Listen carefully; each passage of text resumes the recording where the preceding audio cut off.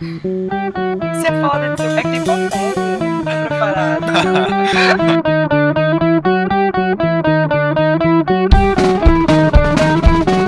então eu vou no Congresso Fora do Eixo.